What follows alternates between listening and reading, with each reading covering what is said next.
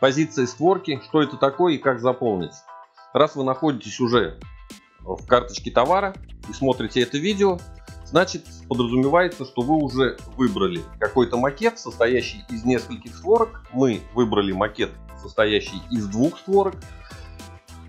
И в результате этого каждая створка у нас имеет свою позицию. На вот этом макете у вас показано первая створка из двух и вторая створка из двух.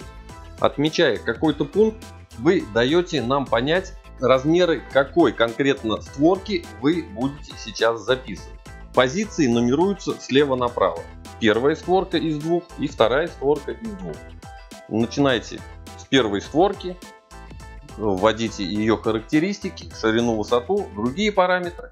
Затем переходите уже ко второй створке, это 2 из 2, вводите ее параметры. Надеюсь понятно. Спасибо.